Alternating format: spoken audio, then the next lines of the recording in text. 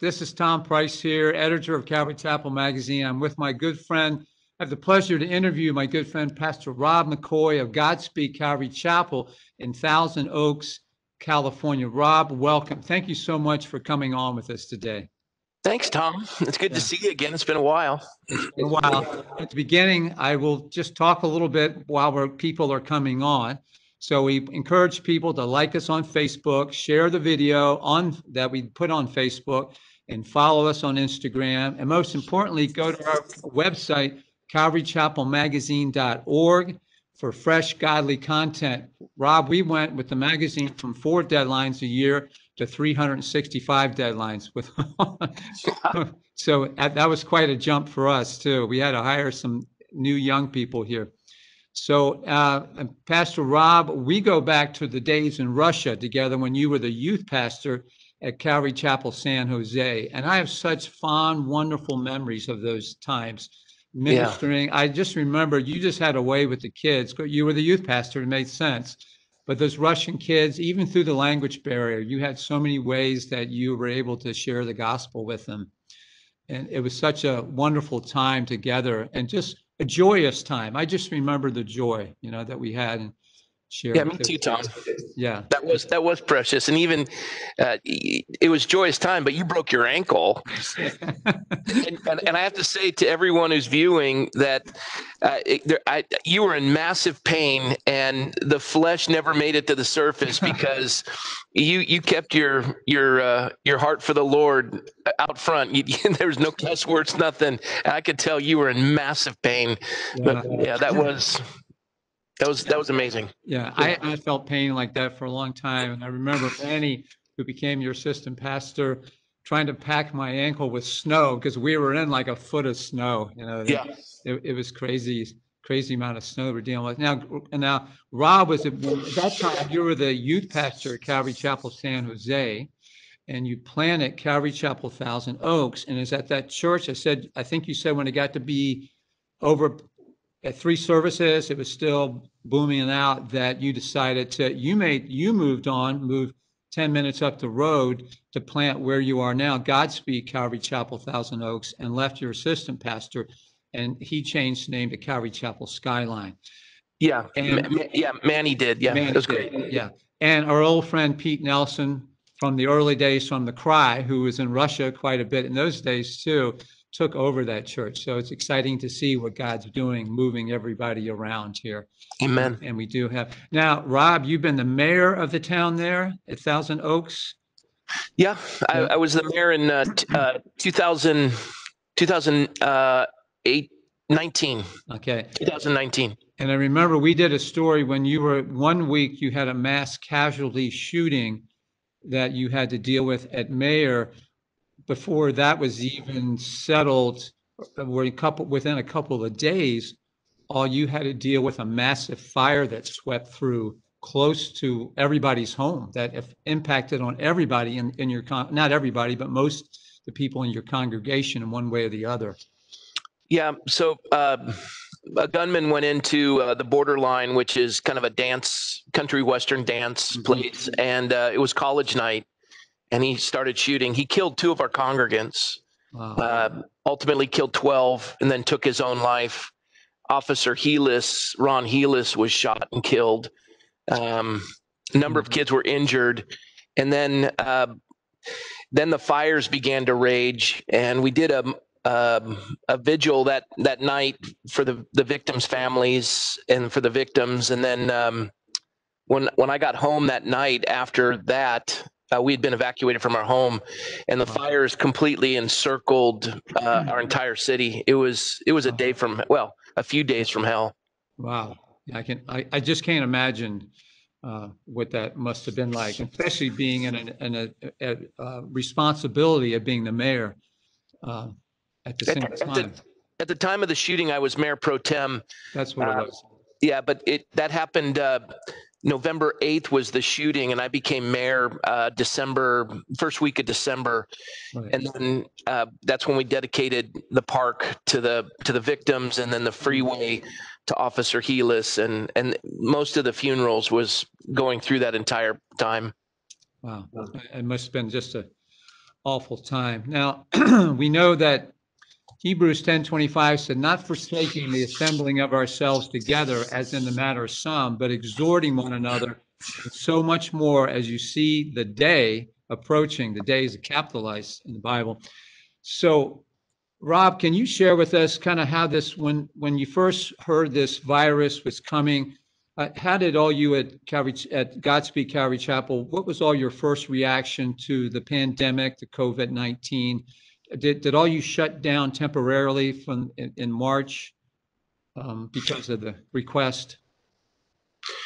Yeah, uh, when when we didn't know the severity of the virus, we we were following all the CDC protocols and what the governor was requesting.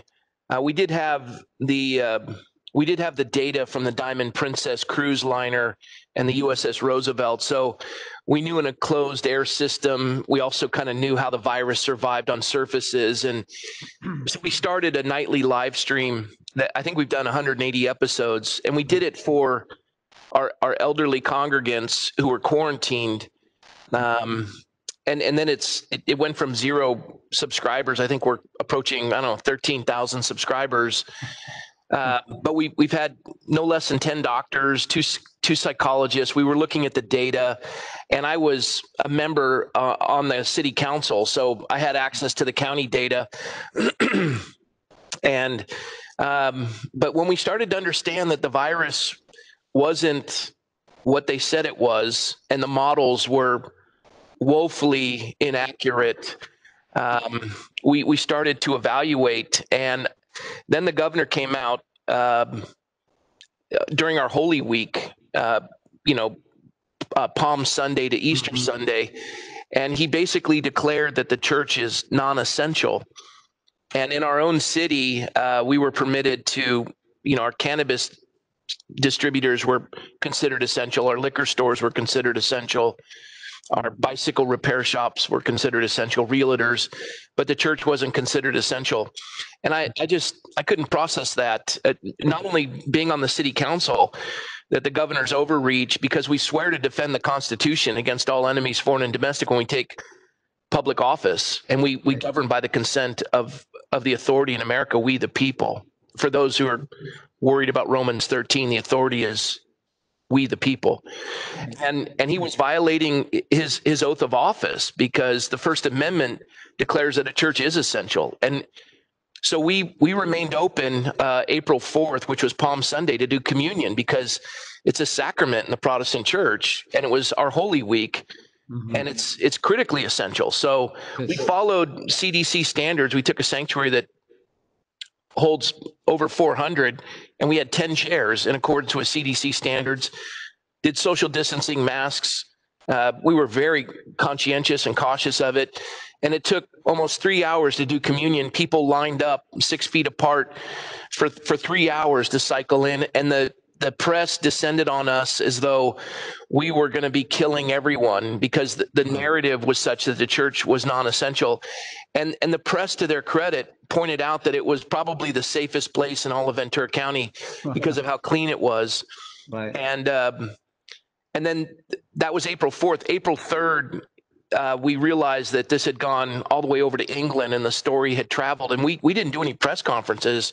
They had just gotten wind of it and I knew that my colleagues on the council would have to censure me because I was in violation of the governor's order. It, it, it's not a codified law. It was, you know, just something he decided to do. Mm-hmm. And um, and I, I didn't want, as a city, we were being inundated by the county and the state with these mandates that were draconian, and I didn't want to burden my colleagues. So I, I, resigned from the council because I, I so deeply respect them. They didn't need that hassle. Right. But I, I couldn't idly sit by while the an elected official like myself would violate the Constitution that that he swore to defend. So um, I I stood in that ground, stepped out of office, and um, we kind of dealt with it that way. Yeah. Rob, how was the Lord speaking to you through that time? And I, I know you were studying God's word, and what what comes back to what, what what's your memory of kind of the time where you heard the Lord's voice speak to you the, the loudest through that time? Yeah, but, you know, uh, I, I was I was looking at the body of Christ as a whole, and and some well-meaning brothers who are, are my dearest friends, who I I, I love tremendously, uh, begged me not to open, as though we were going to be endangering the community, um, and that you know we would be we would be troubling their attempt of evangelism. And as a public official, I knew what they didn't know, and that was that this had nothing to do with the virus. This had to do with a, a secular progressive overreach and, and a sole purpose to silence the church. Um, and and whether they knew that or they didn't, I, I knew what my responsibility and my calling was. And the Lord kind of showed me that the body of Christ is a multifaceted diamond, and each of us have a facet. And I knew mm-hmm. what their heart was, and I, I just said, look, you know, come and see. And guys like Dave Guzik, he came out that day and he was blown away by the way in which we approached it. We honored Caesar in the sense of the CDC standards, Right. uh, but but more importantly, we honored the Lord. Mhm. And and and if if communion's not essential, Christ isn't essential and and yeah, it just and and even you know we had catholics coming out who as you know they look at the literal body and blood of christ in the sacrament Mhm. but they had no access to it. They would come um, and people who weren't christians were coming wanting to just support us because they they realized the overreach. And um, and then it it, it settled. Um, and then the governor you know basically said well you can you can open the church with 100 people or 25% whichever is less and then um, a- as, he approached that uh, it got worse. And he would ultimately say there's no indoor worship uh, and everyone has to wear masks and there's no singing. And as we were seeing the data uh, here in ventura county because i had access to it our county has 856000 citizens. And our uh, the, the death rate attributed to covid at the time a little over 100 tragic deaths that were attributed to covid that constitutes one one hundredth of one percent of our Mhm. entire population Right. and because of the draconian measures uh, of our governor, uh, 65% of our restaurants will never reopen. Uh, those families, their entire life savings have been wiped out. Uh, our unemployment rate is approaching 20%. Kids haven't been able to go to school, though there hasn't been a death of anyone 30 years of age or under. The, the viral load is one third in children, and it's not transmittable in that capacity we we know we we have all this data. We've we've known this, but yet they're doubling down, silencing the church. Um, and then when the governor and and we were we were communicating with the sheriff, telling him, look, we're we don't want to burden your officers, Right. but because they we knew they had to go down to Los Angeles for the riots. And we had to send uh, some of our law enforcement there to shore up what was happening. And then the riots occurred in Los Angeles. Our our personnel, our law enforcement personnel, was there, and um, seventy-five percent of the businesses that were looted and burned were all Jewish businesses. Wow. Eh, Complete hate crimes. The Mhm. governor embraces it, advocates for it, and blesses it. No social distancing, no masks. And then comes back and says this to the church. And by that time, we, we realized it had nothing to do with the empirical data, had nothing to do with the virus. Uh, th- this was completely political. And uh, we opened the church, and we've been wide open, no social distancing, no masks since May 31st. We, we have ionization machines and UV lights in, in our air system Right. and we haven't had one case of COVID. And and the church the church went from 450 people on a on a good Sunday Mhm. to over 2,500, and we still haven't had one case. Wow. And then a handful of people complained. So three of the five county supervisors sought uh, an emergency temporary restraining order. They found a judge who was political and predictable, who authorized it, even though we we stated the data. He said on a scale of one to ten, uh, we are a ten as far as danger to the community Wow. even though there hasn't been a single case reported. And he he awarded the restraining order. Of course, we violated it. Uh, it's unconstitutional. But more importantly, people say, well, what about Romans 13? Mhm. You're, you're violating the authority. Uh, well, I, I know I know Romans 13. I, I teach Romans 13. I'm in full agreement with Romans 13. But in America, in a constitutional republic, the authority in Romans 13 is we the people. And Exactly. the legislators governed by our consent. And, Mhm. and they're bound by the seven articles of the US Constitution. I know this is an elected official. Right. They're bound by the seven articles of the US Constitution that they swear to defend. And that Constitution doesn't give us rights. It protects us from a government that wants to infringe on our inalienable rights given to us by God. Yes. Now, I know this, but m- most pastors don't. Right. They don't know the Constitution. They don't know the 27 amendments. They don't know the First Amendment. And so we are honoring Romans 13. We're holding them accountable. It says in the Declaration, it's our right and our duty. And so that's what we're doing. We're exercising Romans 13. Yes. And and and then as we were doing that, here's another one. What about the second greatest commandment? I hear this all the time. Mhm. First one is love the Lord your God with all your heart, soul, strength, and mind, and then love your neighbor as yourself. On these two commandments hang all the law of the prophets. Well, let's let's invoke the second greatest commandment: love your neighbor as yourself. We do. Right. We we love we we love our neighbors who have been sequestered and quarantined with their abusive spouse. Mhm. We, we love the children who have been quarantined and sequestered where, with their abusive parents. And the two reporting agencies, mandated reporting agencies, schools and churches that have been closed and they have nowhere to go. We love them. We're fighting for them. We, we love the families who have had loved ones who have died without anyone by their bedside Mhm. over a virus that doesn't merit this kind of action. We love them. We Mhm. love our citizens and our and our neighbors who have lost their businesses for no reason. We we we we love our neighbors. It's coming at a great cost to us. We're being fined five hundred dollars for every incident every Sunday, and we're already totaled and, and amassed thousands of dollars in fines. And yet we Mhm. remain open with no cases, contending against a tyrannical authority that's violating Romans 13 and we're loving our neighbors and giving them a voice. And the church is being darkened by people who would never darken the doors of a church skaters and, and surfers, people that just don't go to church because their streams of liberty have dried up. And they've gone upstream and they've come to realize Second Corinthians 3 that where the Spirit of the Lord is, there's liberty. Mhm. that that liberty isn't man's idea it's god's idea. And the church is woefully absent in Mhm. defending the freedom.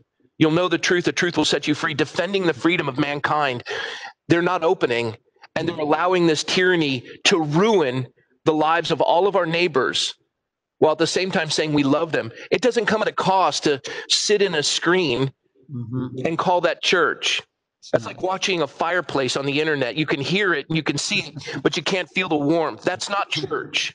Right. People need to be loved and cared for and and and and contending for their freedom and defending them and loving them. Yes. I was with Pastor Jack Hibbs last week. He baptized a thousand, over a thousand people. People are streaming to church. He Amen. says he simply, he does not have the authority to close the door. Only Jesus Christ has the authority to open or shut the doors of the church. Amen. Yeah. That, there, there is there is no scientific reason at all for any church in America to be shut right now.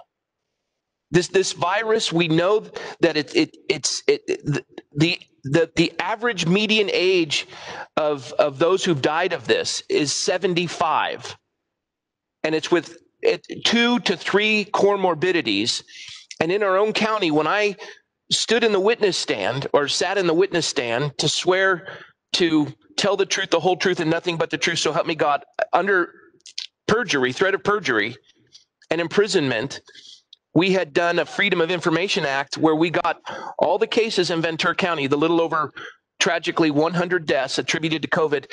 Of the 100 plus deaths attributed to COVID, only two were people who died from COVID. Mm. One was a, a, a man in his 90s and a woman in her late 70s. The rest died with COVID. For example, we had an overdose victim. They, they died of a drug overdose, but they died positive testing for COVID. So mm. that was a COVID death. You get $19,000 for that. A car accident victim, both lungs crushed, tested positive for COVID. That's 19 grand. That that's complicit with that's just completely illegal. And and based on that, they're ruining our entire county and our state. Yes. And those who know truth and are to, are to defend it and stand are not. Yeah. Rob, do you think that the Lord is purging the church now, separating the chaff from the wheat? Uh, you know, I Tom, I I wouldn't go that far because I, I've been I've been in this this county for over 20 years and I've I've served in elected office. Um, and I've come to to love the pastors in this community. We have a great fellowship of of pastors. One of many of them uh, have not opened, and and pastors by nature don't like conflict. They're peace loving, and I, and and I get that, and I know why they're trying to do it. Um, so I don't I don't fault them, but at this point where the governor gave us six boxes that we needed to to attain uh, in order to open fully. Our county had fulfilled five of the six boxes, and the sixth box was a number of positive cases per day, and and it, and then this box over here was the number of testing required per day. If you just lowered it to the to the California standard, this box it was semantics. It would be it would be accomplished, and we were literally ready to open. Wow. And then the governor moves the goalpost and he gives us a four tier color system purple, red, orange, and yellow. There's no green. And and my my fellow shepherds, my brothers, are are trying to abide by the governor's standards. we we have temperatures here in Thousand Oaks that were over 100 degrees. It was hotter here at one point and at the end of August than it was in Phoenix Wow. and they're meeting outside with masks which no empirical data for that that is ridiculous and and and they're having to socially distance in in unbelievable uh, unbelievable temperatures of heat. And and they're they're trying to honor the governor and the governor just moves the goalposts. If they follow these four color coded boxes they're they're not going to be able to return to their sanctuaries until winter time. Mm. and then they'll only be able if they get to the yellow they'll only be able to have 50% occupancy. And two of our churches in the community have already closed the governor knows what he's doing he wants to wipe out middle income he wants to create chaos and he wants to shut down churches Mm. and, and you you can doubt me and and and write me off but i'm connected I, i'm the faith outreach coordinator for the california minority assembly and senate I, I run races up and down the state. I, I'm involved with political leaders. Right. I, I'm, I'm, I'm not a neophyte. And, and I would challenge any of my fellow brothers out there. You want to talk politics? I, I, I, I'm happy to do it. And I'm telling you, th- this has nothing to do with science. It has nothing to do with the health of our citizenry. This has everything to do with politics. Mm. Wow. So, Rob, how do you encourage believers through this time that we're going, that we've been through and going through? I, I know Mike McClure, Pastor Mike McClure shared with that depression is so high and, and even thoughts of suicide with people who had never experienced that before. How, how do you encourage them through this, through, through this period in our history? Now, uh, when churches close, there's a five times greater rate of suicide. Alcohol consumption is already up 150%. Calls to the suicide prevention hotline are over a thousand percent. I mean, if that's not enough to inspire shepherds to bring hope, people people are communal. We've been created for relationship. They need community, and there's immunity in community. And Mhm. and look, we don't like conflict. I get that. And and and I get it that pastors don't want to be political, which I'll cover that later, but th- they they don't want to bring politics uh, they, they they don't want to enter into politics. They they don't want the church to enter into politics. but what they're realizing is politics is entering the church Mhm. and and there is a concerted effort to shut that down Wow. if you don't push back and if you don't stand they will take whatever you're willing to give them Mm. and, and really what is what is the line what is the line that you're willing to draw if you say that we're supposed to submit to authority the question i would have for you is is rosa parks supposed to have gotten to the back of the bus? Mm. what's the line? Right. what's the line for your people? If you if you love your neighbors yourself what's the line that you will say evil comes this far and no further? Mm. what stand are you willing to make? Where where where is that line Rob, we remember from the book of Acts that the church, when it was persecuted, grew dramatically. And you've already reported that your attendance is going through the roof right now. And the same thing with the other churches that are that are that are that are open now. How do you kind of how do you see this working out? How how do you see where, where is this headed now? I, I and this is happening across the country. Uh, I, I travel with Charlie Kirk. We're going to be up in Idaho. Um, I'm, I'm leaving tomorrow for Phoenix. Um, I was just in Portland yesterday. Mm. Th- There are there are citizens across the country that are contending against tyranny and looking for shepherds to to to provide leadership. Right.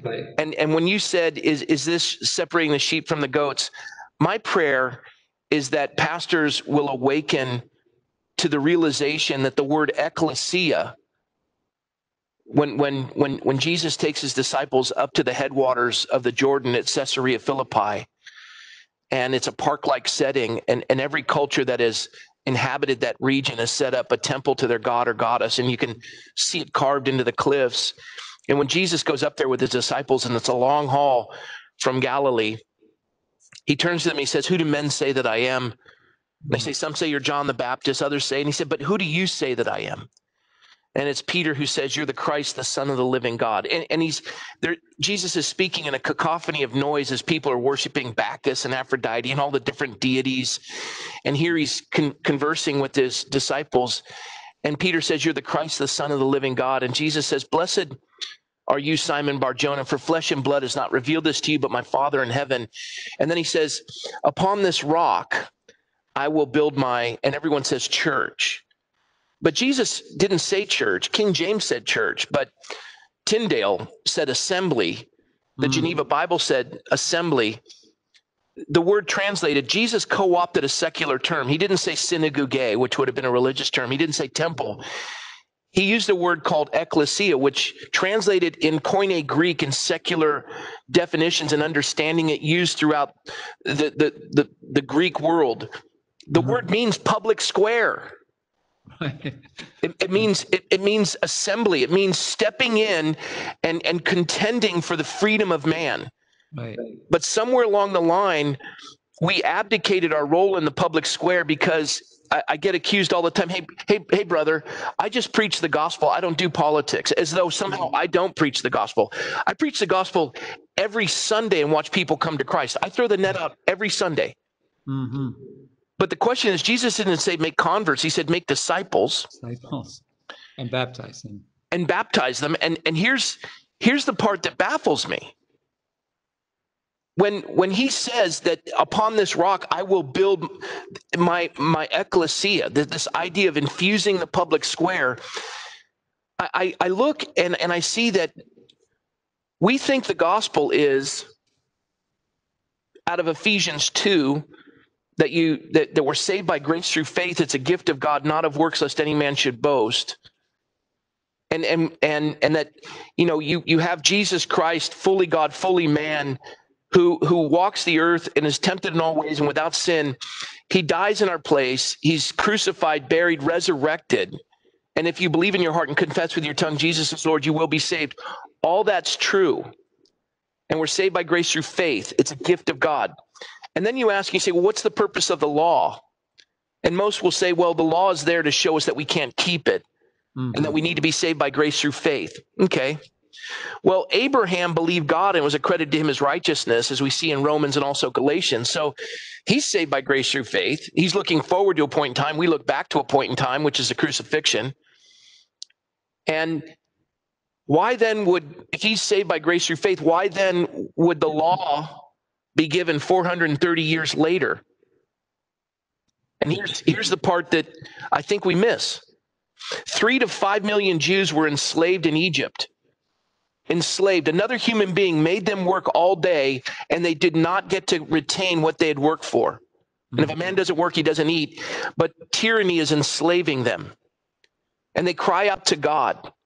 God sends a deliverer in the form of Moses. He goes to Pharaoh and he says, God said, Let my people go. And Moses says, Who is God that I should listen to him? You, you mean, uh, the, um, uh, uh, the Pharaoh said, who was. Yeah, yeah. The Pharaoh says, the Pharaoh says, Who is God that I should listen to him? Right. And of course, he had the 10 plagues, three of which the Jews experienced, and then the Passover.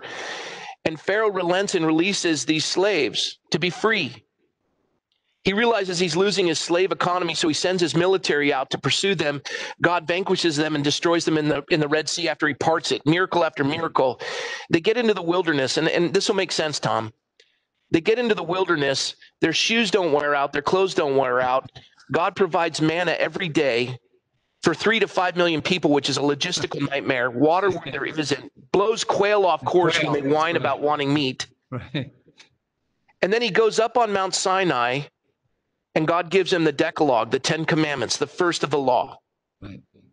He comes down with five commandments relationship with God, five commandments with relationship with each other. He comes down and he finds Israel in debauchery with a golden calf, places the law in the center of the community, instructs the children on this moral knowledge.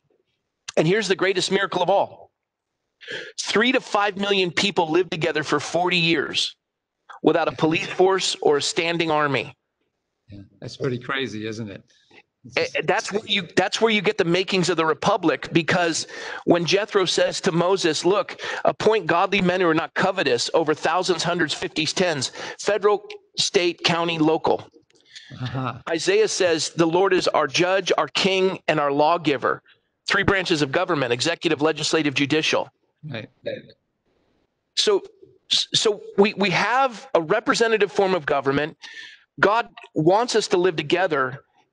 And, and we've been duped into thinking that we don't do politics. And Aristotle said politics is the highest form of community. Mm. It combines morality with sociability. Like Francis Schaeffer said, how then do we now live? You, you do politics in church every day. You do politics in your family every day. This is how we live.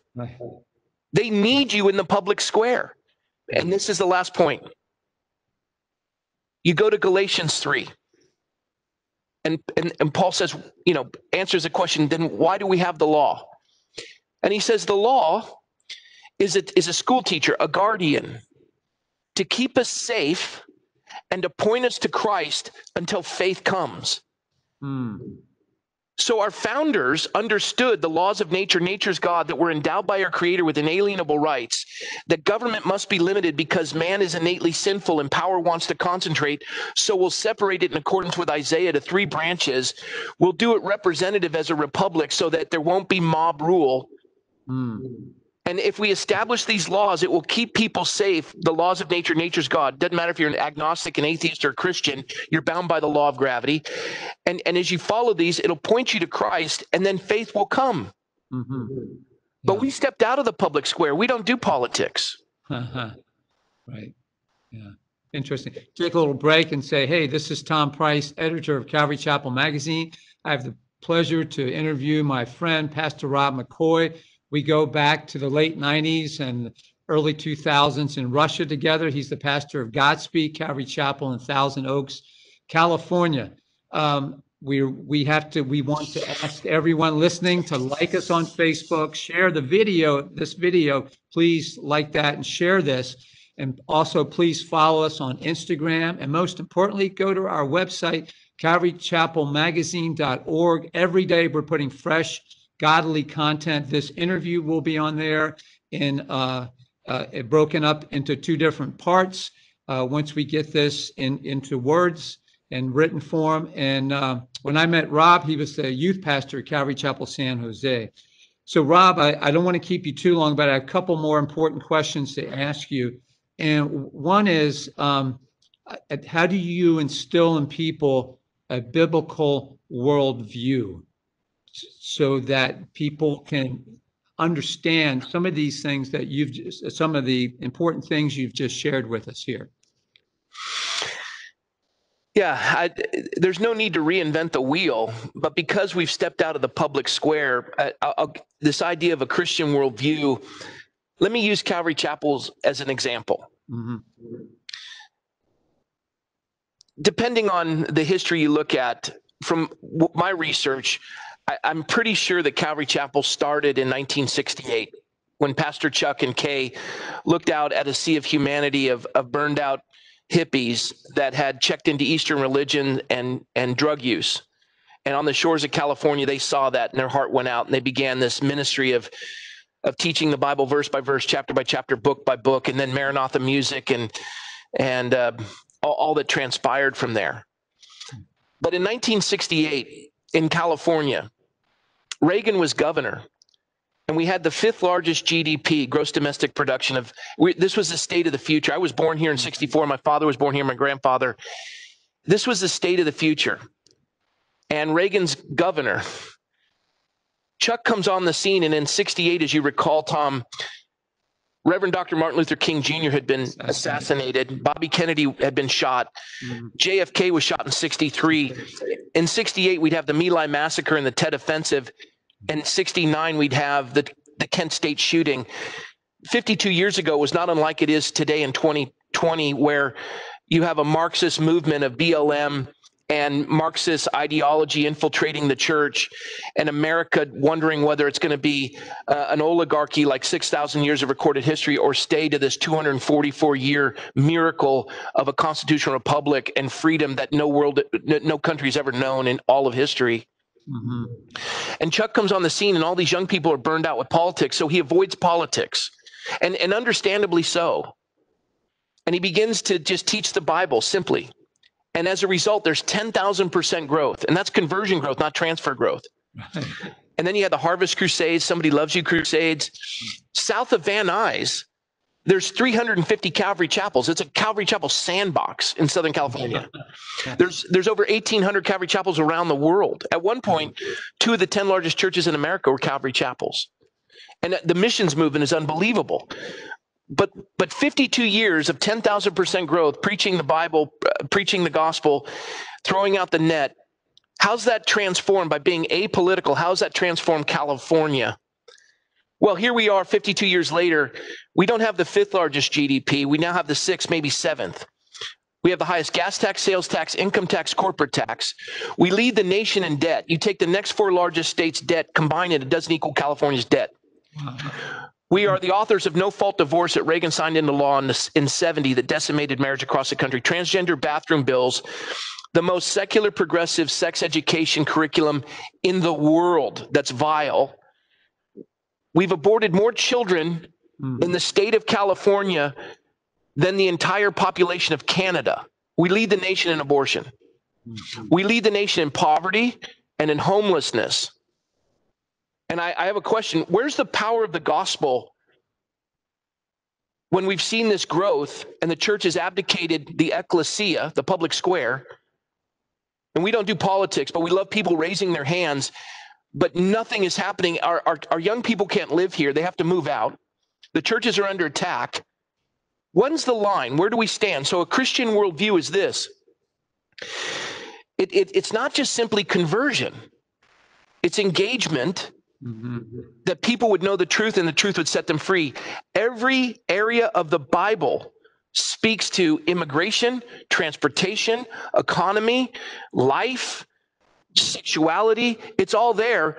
We need to proclaim it instead of seal ourselves into a four walled building and call it the church.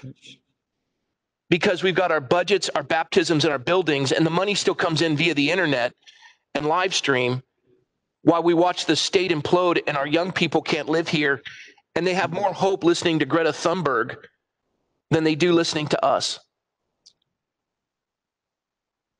Wow.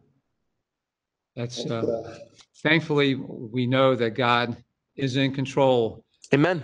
because that you, that could be just depressing thinking about that, but praise God, we know that he, but I, I do hear what you're saying.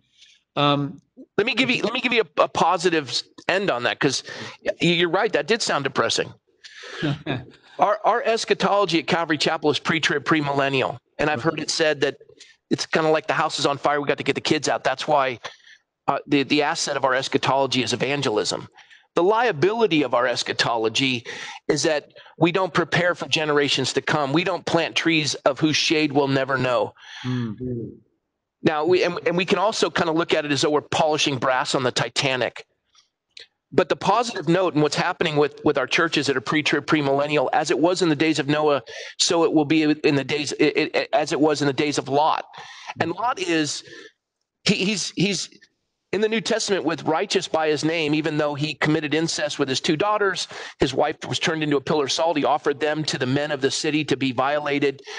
He's still considered righteous. He was delivered even stated in the New Testament. And what it means is the days of Lot means we got our get out of hell free card, but we've made no difference in Sodom and Gomorrah.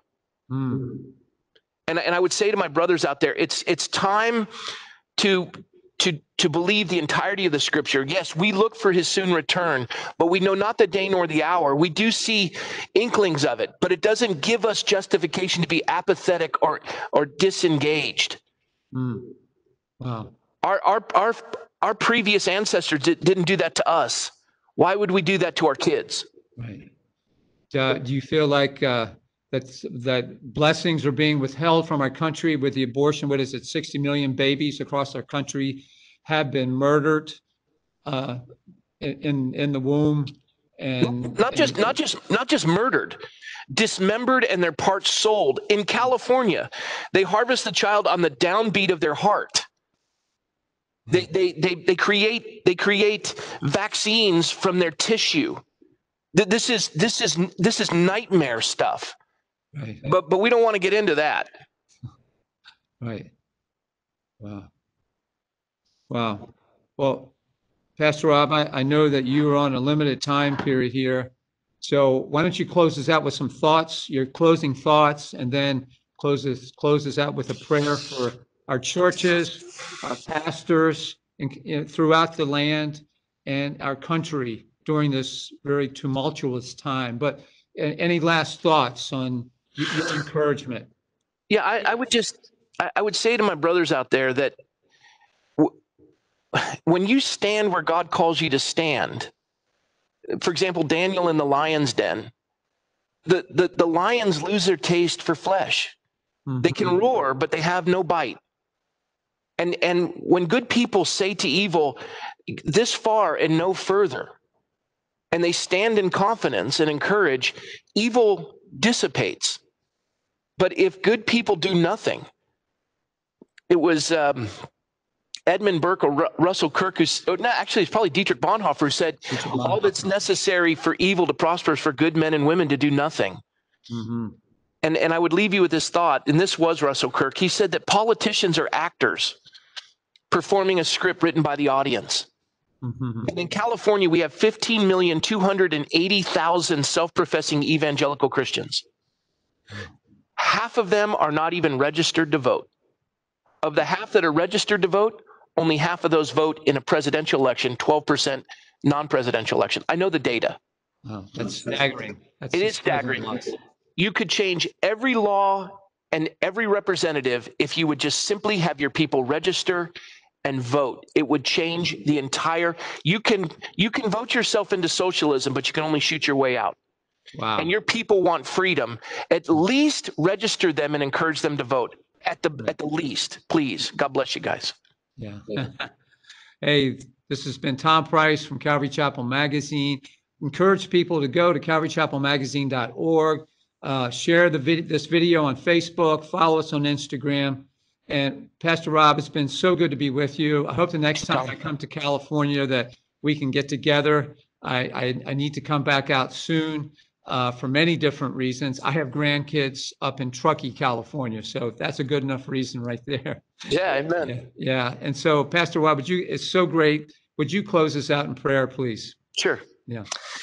Lord, thank you for Tom and Calvary Chapel Magazine and the the movement that's Calvary Chapel. That God, you have equipped men and women across the globe who have an understanding and a love for your word like never before in modern history.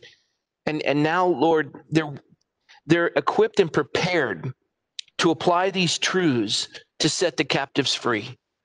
I pray for an outpouring of your spirit that there would be an awakening and then lord a revival Mm. And, and I, I ask that they would they would dust off these books and revisit these civil laws that you have given us that we would live together as as the jews did for 40 years without a police force or a standing army.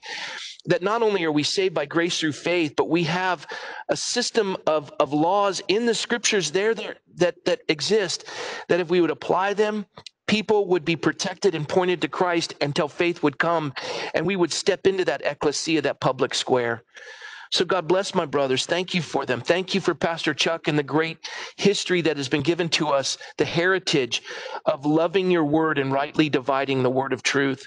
Thank you for Tom continuing to proclaim that and standing firm upon this great gift of Calvary Chapel. Lord, save our state, our nation, and ultimately, Lord, the world that you would would set the captives free. We ask this in Jesus' name. Amen. Pastor Rob, how can we, how can the church be praying for you as you go to court next Monday? Yeah, keep us in prayer um, that, that that that we'd find favor with the judge. Whether the judge votes in our favor or rules in our favor or not, it's not going to change what we're doing. We've already given it all up, and anything given to God first will never be lost. So it's all His if He wants it. But but we we we want them to start to realize this has to stop and pray for courage for the judge to do that. He knows. Right. Most everyone already does. Yeah. And then pray pray for our kings and those in authority, specifically your school board and your council members. Mhm. And and, and for us, just pray that we would stand firm. Right. And last one is from Mike McClure, Calvary Chapel, San Jose. He's in a fight for his life. Send him support. Don't send us anything. Send it to him. Bless him. He needs your encouragement. He's up against the same stuff, um, but the fines are even greater. Please help our brother. Wow, that's, uh, thank you for sharing that. I interviewed him a couple weeks ago and, and just, uh, really fascinating to hear, sad to hear. And so, Lord, we, well, we, we ask everyone that's listening, there's going to be listening on the video to pray for Pastor Rob for great vision and for his congregation, for his support staff there, the pastors and everybody on board there, because this is a difficult time. Uh, but God never said it was going to be easy, did he? He didn't yeah. promise us that. So God bless you, man. Thank you so much.